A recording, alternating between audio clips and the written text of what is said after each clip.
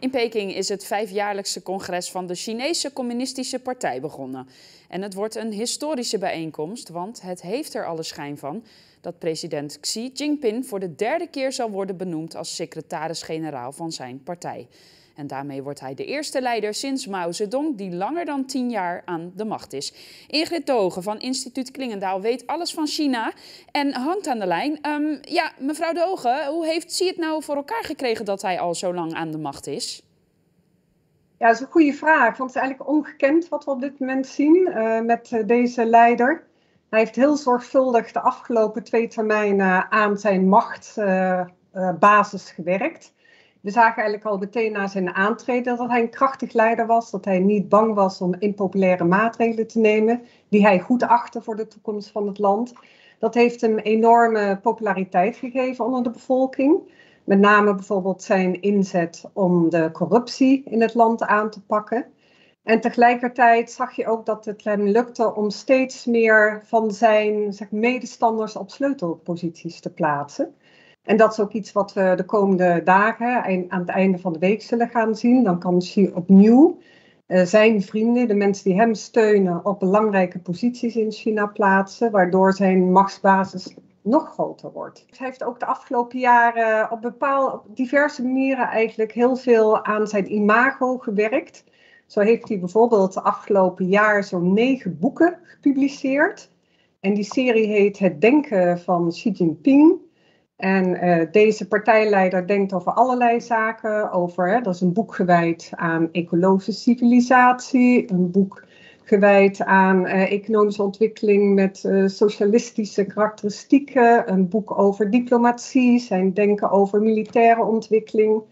En die boeken worden allemaal heel erg gepromoot. Dus ook in het land ontstaat een beeld van een krachtig leider die het beste voor heeft met het land en die over alles hele goede ideeën heeft. Ja, en nou eh, zit het dus in de verwachting dat hij uh, opgaat voor zijn derde ambtstermijn. Um, zijn er nou geen goede opvolgers te vinden of heeft dit nou ook te maken voor, met angst voor hem? Nou, ik zou het niet zozeer angst uh, noemen. Um, China houdt, het Chinese volk houdt van krachtige leiders. Maar ook als je nu kijkt naar alle problemen waarvoor China zich gesteld ziet in de komende periode, is ook wel het brede gevoel, ook onder vele partijleden en vele bestuurders, dat om die toekomst goed in te gaan, heb je ook een krachtige leider nodig. En Xi Jinping heeft laten zien dat hij dat kan, dat hij daar niet bang voor is. Dus, dus dat is één aspect. Uh, niet zozeer de angst, maar ook wel de bewondering voor zijn kracht en, en zijn visie. Het andere is dat hij geen opvolgers gecultiveerd heeft, omdat hij zelf nog een tijdje aan de macht wil blijven. En dat is waarschijnlijk omdat hij zelf vindt, en ik denk dat daar veel steun voor is binnen de partij, dat hij de enige is die China door deze moeilijke periode kan heen helpen. Hij spreekt zelf over veel tegenwind, hoge golven, uh, stormen die er aankomen. En hij denkt, ja, behalve ik kan eigenlijk niemand dat op dit moment goed doen. Nee, um, dan komt er dus een, een, nieuwe periode van vijf jaar Xi uh, aan. Wat zijn dan zijn belangrijkste punten voor de toekomst? Nou, er eigenlijk, uh, zit grote continuïteit in. Uh, ten eerste, hij zet erg in op ideologie. Dat is voor ons iets onbegrijpelijks. maar zeg maar partijideologie, het, het verenigen van het hele volk en alle partijleden rondom een bepaald beeld voor de toekomst wordt heel belangrijk geacht in China.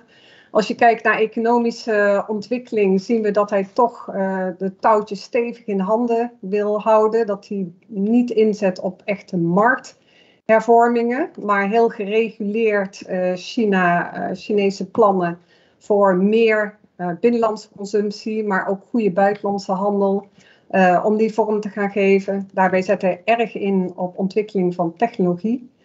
Um, dus, dus, dus, dus, dat soort um, economische uh, beleidsplannen draagt hij uit. En daarnaast, wat we ook op dit partijcongres hebben gezien, is een hele grote inzet op uh, nationale veiligheid. Dus China voelt zich bedreigd door de buitenwereld, uh, met name de Verenigde Staten, die natuurlijk een economische en handelsoorlog en, en tech-oorlog, technologische ontwikkeling, oorlog met China gestart is. daar heeft China enorm onder te lijden. China ziet ook dat relaties met andere westerse landen, met de Europese Unie, onder druk staan.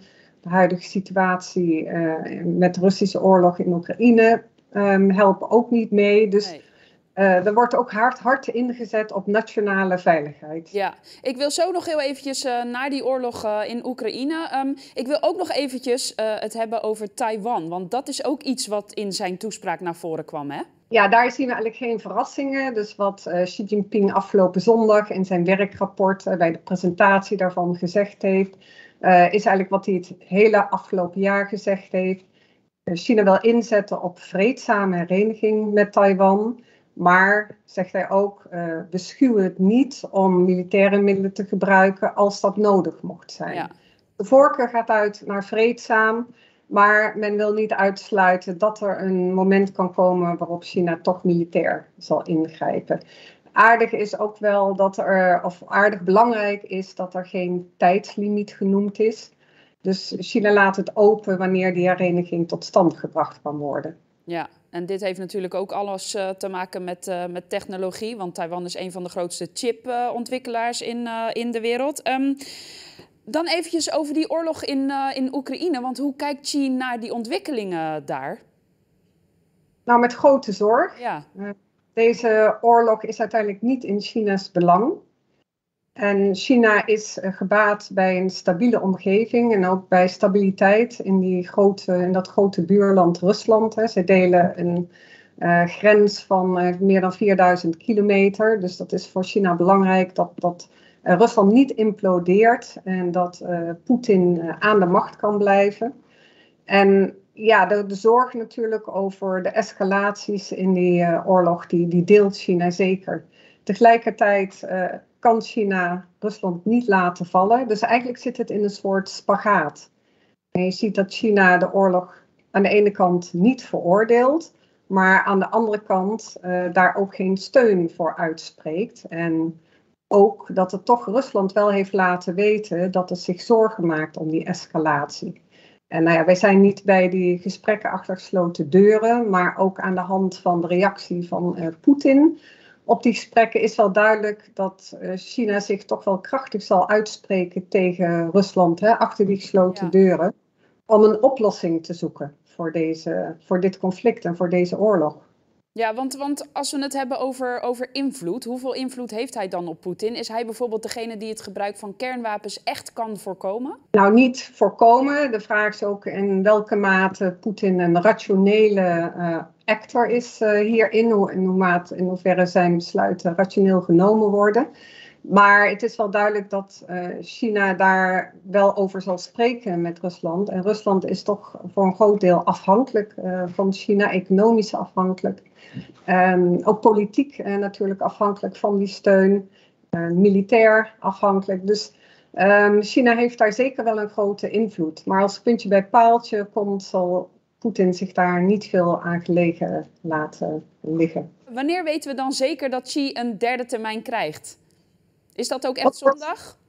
Ja, dat is echt zondag. Uh, dit partijcongres is afgelopen op zaterdag. En dan is het centrale comité bekend. Uh, een, een, groep van 300 uh, eh, man, iets meer dan 300 man, die China eigenlijk bestuurt. En deze groep, het centrale comité van de Communistische Partij, die kiest op zondag, of nou ja, kiezen, die presenteert op zondag het nieuwe leiderschap van, van de partij.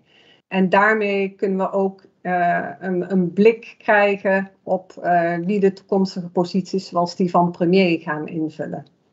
Ingrid de Hoge, sinoloog van instituut Klingendaal. Dank u wel. Graag gedaan.